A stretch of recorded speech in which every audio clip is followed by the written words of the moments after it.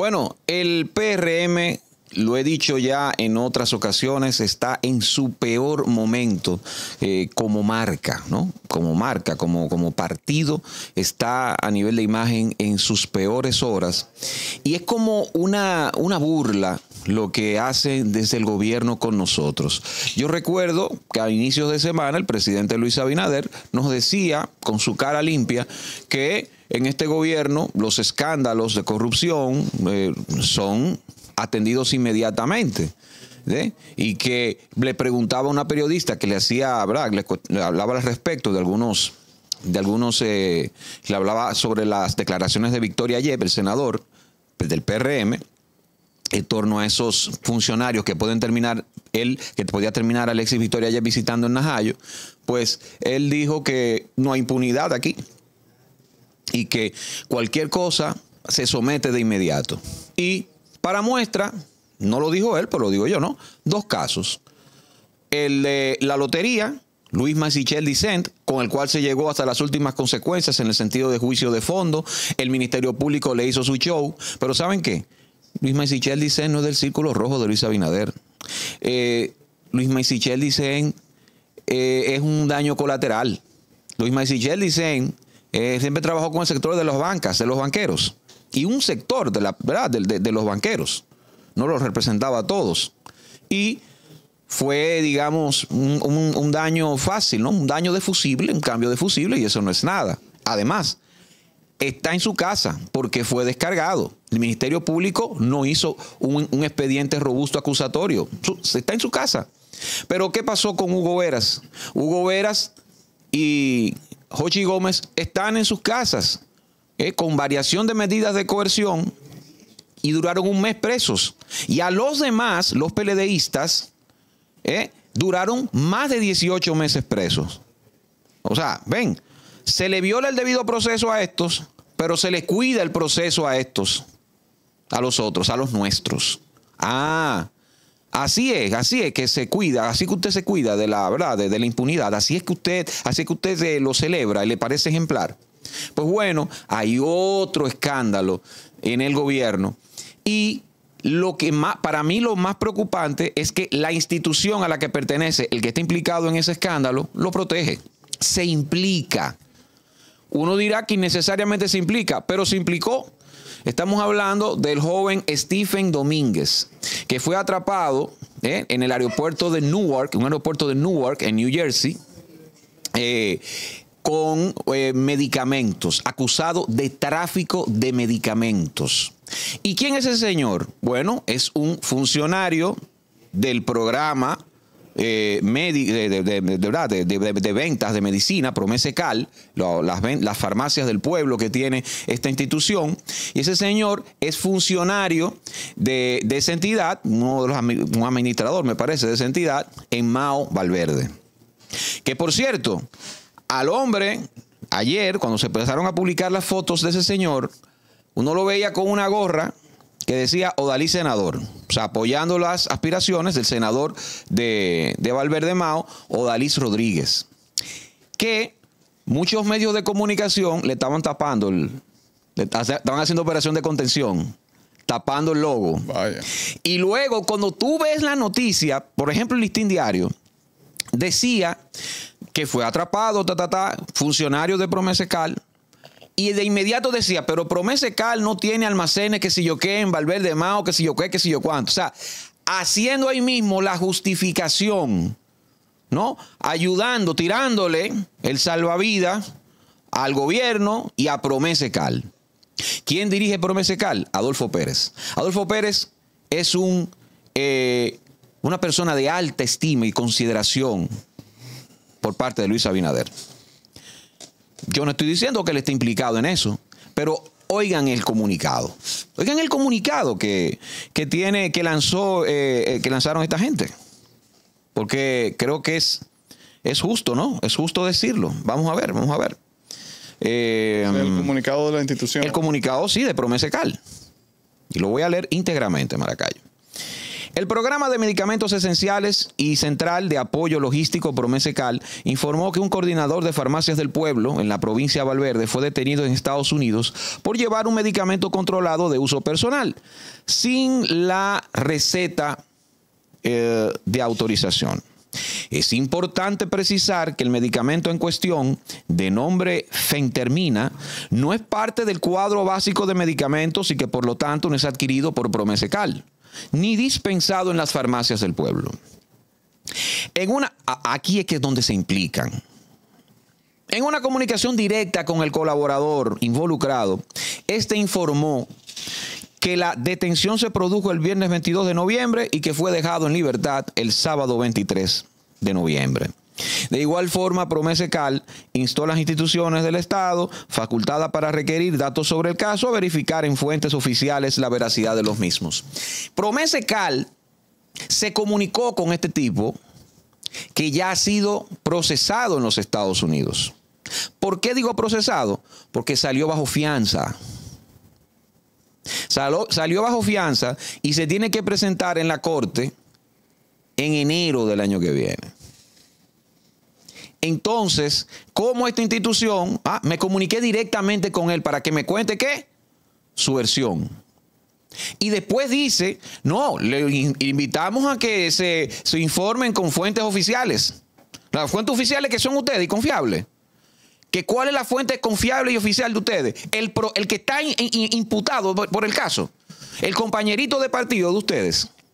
Esa es la fuente oficial y la confiable a la que tenemos nosotros que, atenernos aquí como, como medios a, a, informar lo que ustedes dicen. Eso es. Eso es lo que ustedes están haciendo, se están implicando. Porque ese tipo, está, ese tipo lo detuvieron con la suficiente cantidad de medicamentos para considerarlo tráfico de medicamentos. Por eso, por eso que él está fichado allá. Por eso que tenía su foto. Hay pan y pan. De frente y de lado. Entonces, promese cal. ¿Por qué usted hace esa maldita vaina? Además de ser un, un, comunicado torpe, innecesario, si ustedes escribieron, eh, debieron escribir un comunicado, era diciendo que no tiene que ver con las acciones de ese tipo y que hasta, hasta que se comience la hasta que se concluyan las investigaciones, el cargo de está por lo menos suspendido. Por lo menos está suspendido. No. Ellos hablaron con él que no, que el tipo, el 23, lo agarraron y lo soltaron al otro día. Mi hermano, el tipo está allá, el tipo se presentó ante un juez. Usted bajo fianza, usted salió bajo fianza, usted no se libró del caso. Y eso es lo que ustedes nos están diciendo aquí. Que, hablaron con él y que todo bien. Con el, con el que está acusado. y, espérate, y tienen pruebas de captura de pantallas, Maracayo, donde el tipo vende diferentes productos. Oh, tiene el catálogo. Sí, tiene un catálogo. Porque eso no es nuevo con el tema de las mafias, de, de, las medicinas. ¿eh? Aquí, se, aquí, aquí hasta se estaban desapareciendo antigripales. ¿Sabía eso? Hubo un tiempo que tú ibas a la farmacia a buscar algo y no aparecía algo antigripal. Porque se estaban, lo estaban acaparando, lo compraba muchísima gente y se lo llevaban para Estados Unidos, como lo hace este señor. En diferentes cajas, en diferentes gente, para venderlo allá. No, porque aprovechan la cultura del dominicano, aprovechan la cultura del dominicano de automedicarse, porque hace que somos todos, ¿no? Un dolor de cabeza, me da una vaina, dame esto que me voy a medicar, porque en Estados Unidos no es así. Estados Unidos no, usted no puede estar comprando cualquier cosa. Incluso hay antigripales que son fuertes y que tienen muchas reacciones, pueden tener reacciones adversas, muchas reacciones alérgicas importantes, que tú tienes que con receta. Sí, los medicamentos genéricos son un poco más reducidos. Son más reducidos allá y, uno, y uno que ha viajado ya unas cuantas veces a Estados Unidos, pues se da cuenta que, espérate, no es lo mismo. Tú te metes en una de esas farmacias de la cadena, no me acuerdo cómo se llama, la que, por ejemplo en Nueva York, que es la más notable, más notoria, no me acuerdo cómo se llama, que, que ahí usted, la gente, Dwayne, Dwayne, qué sé yo qué, algo así. Que usted iba, pa, usted va allá, pa, y se y debe tener receta, todo el mundo es recetado ahí. Sí. Porque no, no, no es así de sencillo. Entonces, este hombre en la pantalla tiene Viagra tanto, que si 70 dólares, qué sé yo qué. O sea, el tipo, el tipo, el tipo un emprendedor, el tipo un emprendedor, ¿verdad? Sí. Eh, con, la suficiente evidencia como para ser sometido por tráfico y, y Promese lo salva. Señores, y, ven acá, y si este hombre condenado, ¿qué va a pasar con Promese? Si este hombre condenado, ¿qué va a pasar con Promesa? E- Esa es mi pregunta. ¿Qué va a hacer Promesa? Su director Adolfo Pérez, porque tengo que decir que su director, ¿qué va a hacer? Porque ya él escribe- este comunicado es él que lo aprueba. No es la gente de Relaciones Públicas de, de, de Promesa Cal que, que, que se inventó esa vaina y lo publicó. ¿Qué va a hacer ahora Adolfo Pérez? Si ese, si ese hombre lo condenan, por ejemplo. Sí, mira, aquí la evidencia da, pa, condenado por tráfico de medicamentos, de sustancia. Por acá, o sea, por la, la cantidad que usted tiene, mire, ya eso no era de que para usted usarlo, no, eso es para usted venderlo ilegalmente en territorio estadounidense. ¿Qué va a hacer Promesecal? Promesecal, porque si este tipo trabaja en Promesecal, si este tipo es compañero del partido, una figura importante en Mao, una figura importante en Mao, vende de manera ilegal medicamentos y trabaja en Promesecal y Promesa lo defiende. Dime, ¿cómo es que dice? eh, ¿Cómo es que dice? Anda vestido de que si yo qué, parece que si yo qué, y es que si yo qué, qué, anda vestido que si yo qué. Dime, promese, te- promese, promese, mira, eh, yo imagino que ya, ya grabando este corte en las próximas horas ustedes van a tirar un comunicado de diciendo toda esta maldita vaina. Pero cuando viene a ver, mira, operación limpieza. Y, y van, y los medios de comunicación ahorita hablan maravilla de Adolfo Pérez. Y Adolfo Pérez te escribe una vaina, dice una vaina de una entrevista. Y esa es la versión que prima. Un, un- un- ¿Cómo se llama? Un lavado de imagen. Express. Eso es lo que puede pasar en las próximas horas. Yo estoy pensando en los clientes del señor. Se van a Tú lo que estás pensando en el negocio, maldito Eh, eh, ladronazo no, del no, diablo. no, en los Tú lo que tú estás clientes, pensando. no, Mira cómo tú pues, estás. no, tú- te, estás- te- te brillan los no, ojos. No, no, tú estás diciendo que él vendía Viagra, ¿no? De todo. Es que los dominicanos allá están locos por comprar toda esta maldita vaina de aquí. O sea, que, que- que da es algo antigripal. Se desaparece. que- pero que es verdad, que yo te digo porque tengo un amigo que eh, conoció una persona que hacía esa maldita vaina. Yo, yo creo que la agarraron. ¿eh? Me parece que la atraparon allá en Estados Unidos. Porque, porque le están cayendo atrás a los dominicanos con eso. Porque al mercado dominicano que, que Pero- está yendo este tipo de medicamentos. Las bodegas, las bodegas dominicanas en New Jersey, ¿verdad? Sí. Las bodegas do- dominicanas, no solamente en New Jersey, sino en esos poblados eh, estadounidenses donde domina la comunidad Venden dominicana. toda esa vaina. Venden todo. O sea, tú estás, todos esos genéricos antigripales los Sí. venden todos en la bodega. Bueno, pero eso, si hay un arqueo, quizás son tolerantes con eso. Pero si hacen un arqueo, pues tú estás en la ilegalidad. Y tú no puedes vender esa vaina sin receta. En la bodega se hace, pero a cuenta y riesgo de los bodegueros. Bien. Nada personal contra los bodegueros, no vamos a decir los nombres de las bodegas. Pero Sí, pero ta- también, si lo hacen así, Maracayo es y riesgo. también hay ¿eh? que decir Porque que no son farmacias. También hay que decir que ahí la industria farmacéutica eh, es, es bastante injusta en muchos aspectos porque esos países, estos, estos genéricos están extremadamente controlados y obligan a las personas a comprar los, los que tienen su patente, los medicamentos originales, que son 10 veces más caros, muchos de los cuales se pueden comprar sin receta, pero que son 10 veces más caros. Sí. ¿no? Y también, oye, hay gente que, que no puede. Por eso te dije, estoy pensando en los clientes. Imagínate esos señores que necesitan su, su Viagra también. Eh, en Estados Unidos creo que es con receta que se... Claro, porque ellos dicen, Viagra bueno, a receta. falta, a falta de Viagra, que es muy cara, Ajá. usted te la pela. Valga la cuña. O el Evex. Pero, no, imagínate. Eh, Tú no estás de acuerdo con la detención. A mí me No, con, no, con tu no, comentario me, luce lo que, que pasa es tú que no estás de acuerdo con la detención de él. pero, como No, pero yo- yo te entiendo. tan agresivo con eso como Ajá. que... ¿Con qué? No, no, no, no, no. Mi tema no es con, con el emprendedor Domínguez. Ni siquiera eso. Mi, mi tema es con Cal. Mi tema es con Cal que está diciendo te está, que habló con él y que no hay problema. Y el tipo está procesado allá, Maracayo. Eso es lo que pasa. Yo no estoy hablando de si eso es injusto o no. Ahora, las leyes estadounidenses, usted no la puede violar. La ley dominicana, usted no la puede violar. Yo sé lo que lo que tú dices no es justo. Pero como dicen, la ley es dura, pero es la ley. Bueno, se resuelve allá. Está bien. Pero el tipo lo agarraron y lo procesaron por tener suficiente medicamento como para considerar que está haciendo tráfico ilegal. Un tráfico, está traficando medicamentos. No es, no el polvo aquel, no es marihuana, no es, no es fentanilo. Pero si tú llevas mucha cosa de algo que se vende con receta, eh, espérate. Pero ¿qué pasa? Tú me vas a montar un negocio aquí. Ya, eso fue lo que pasó, Margallo. Eso fue lo que pasó. Que está bien o está mal, que es muy difícil, que son muy duros los gringos como para, que beneficien a la industria farmacéutica. Pero ya tuviste lo que pasó con el patógeno, eso no hay ni siquiera que hablarlo. Y lo, ¿verdad? Todas las barbaridades que se hicieron. yo estoy de acuerdo contigo.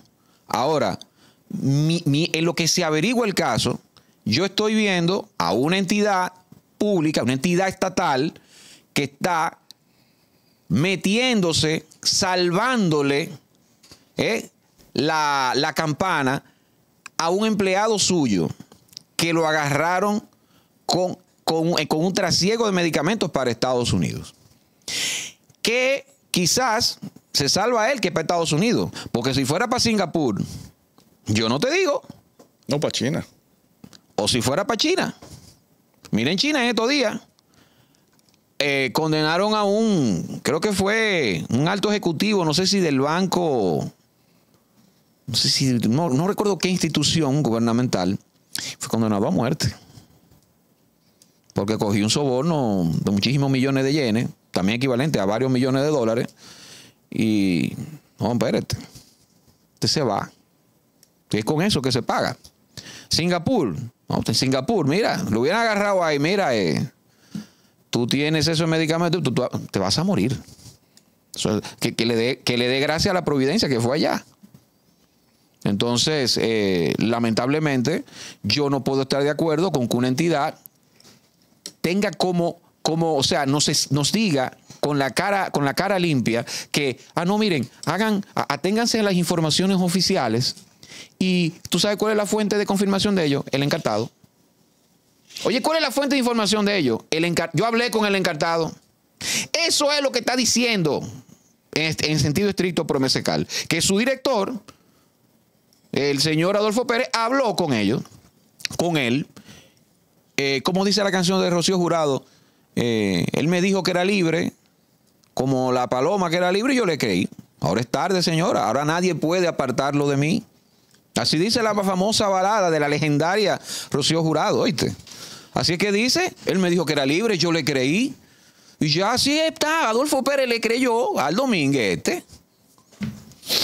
Le creyó. ¿Y tú crees que está bien, Maracayo, esa vaina? Pues yo, yo o sea, está bien que tú entiendes, el dominicano, coge lucha, que la industria farmacéutica estadounidense injusta, lo que tú quieras. No, y va, y, va a coger lucha ese señor allá en Estados Unidos, seguramente va a coger su, su cárcel. Y yo solamente pienso en... Las, las, los, los clientes faltos de Viagra, de antigripales. No, hombre, sí, no. Y de vitamina C. Y de vitamina C. Pero para que tú veas, y los que, y los que están aquí... ¿A los que están aquí? Los, los funcionarios que están aquí, que hacen su marrulla aquí, eso sí, Ah, no, no, no. Eso, eso tan. Pero mira. el, el, escándalo que se está armando por, por ese señor y esa actividad, que seguramente le va a ir muy mal allá. pero los que están aquí no pagan ninguna consecuencia. No solamente que no pagan ninguna consecuencia. El Banco Agrícola, todos los préstamos, los funcionarios que están cogiendo préstamos, millones y millones y millones no pagan ninguna consecuencia, pero al contrario, no es solamente que no pagan consecuencias, es que el presidente Luis Abinader empezó diciendo esta semana que en su gobierno no, no hay perdón para la impunidad. ¿Verdad? Explota el Banco Agrícola, como tú dices. Se profundiza el escándalo del Banco Agrícola que se destapó hace meses.